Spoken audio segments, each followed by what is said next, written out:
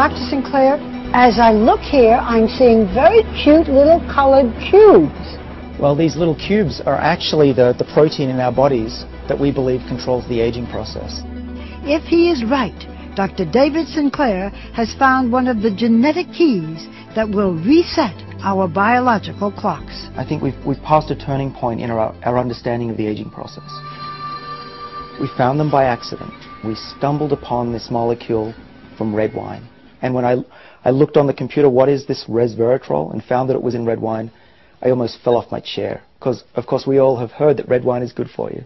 Just so happens, I have red wine. To your health.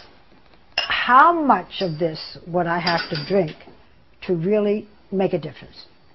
Well, our experiments tell us probably about a thousand bottles a day. So that was not the solution. Dr. Sinclair then went back to the lab and found a way to make resveratrol 1,000 times more potent. So what does it do in the body? Well, what we have discovered is that resveratrol works on a gene which is called SIRT1, and this is a gene that controls the aging process.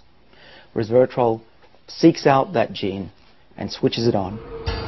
And with that gene activated in the mouse on the right by a high dose of resveratrol, she quickly turned into a mini Olympian, running twice as far as the untreated mouse on the left. They didn't get heart disease, cancer, even osteoporosis, and they lived 30% longer. Can you do this in humans?